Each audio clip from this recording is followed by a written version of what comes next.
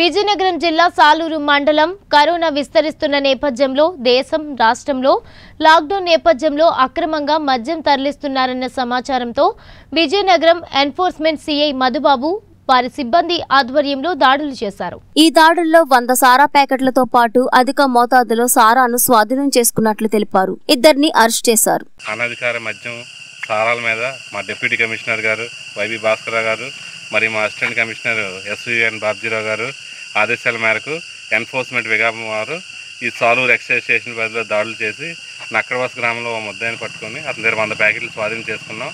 Next Pachipenta దగ్గర పీకోన్ check post దగ్గర రూట్ వర్క్ చేసి అక్కడ ముద్దాయి దగ్గర పదిహేను ఏళ్ళు సారా పట్టుకున్నాం.